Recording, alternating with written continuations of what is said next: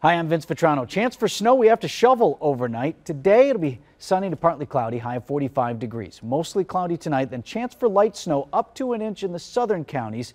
Many of us won't see anything. Low right at the freezing mark of 32 degrees. Right now, Milwaukee police are still looking for at least one shooter. Three people were shot on the north side overnight, including a 14-year-old girl. This happened about 1.30 in the morning Teutonia and Bobolink. 23-year-old man was pronounced dead at the scene. 37-year-old woman and the teenager were taken to the hospital. A couple of convicted criminals are on the loose this afternoon, escaped from a maximum security prison in Columbia County. 37-year-old James Newman and 46-year-old Thomas Deering were being held at the facility in Portage. Records show both actually escaped from prison before. Pictures of both men are up on our website, tmj4.com.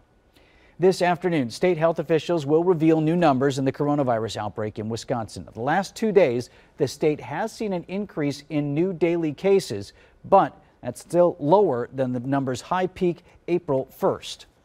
Now, coronavirus may be claiming bacon. The Patrick Cudahy meat processing plant is shutting down for two weeks after some employees tested positive for the disease. The dry sausage and bacon factory will close later this week for a deep cleaning. And no, you do not have to pay it back. There are rumors going around on social media saying that you have to pay back the stimulus money that you get. That is fake. It's not true. Those payments are showing up in accounts this week.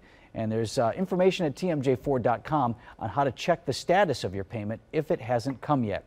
TMJ4 News live on the air and streaming online once again at 3 o'clock this afternoon.